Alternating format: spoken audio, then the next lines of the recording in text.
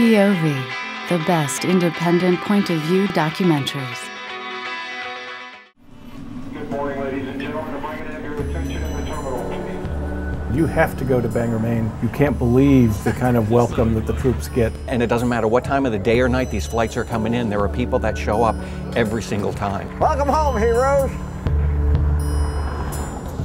I thought we were just going to walk into an empty terminal. None of us were expecting anything like that.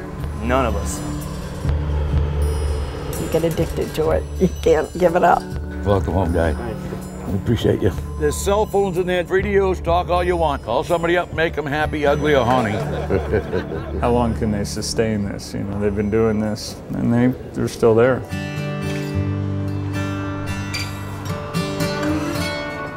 It don't stop for you to get on or get off. The world just keeps right on turning. Everybody has trials and tribulations. Two of my grandchildren are going in January. Every day, that's the deal. That's what we say. It's not my day. It's not been a bad trip at all. Sun don't come up tomorrow morning. It's not a big deal. Death is something uncontrolled by human beings. Age, how rich you are, what you're doing, doesn't enter the picture. You're gone.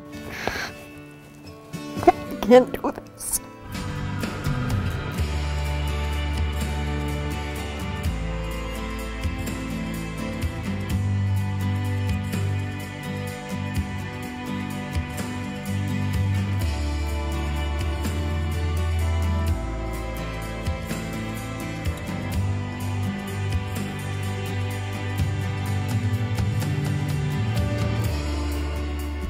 My life don't mean a hell of a lot to me, but if I can make it mean something for somebody else, that's my endeavor.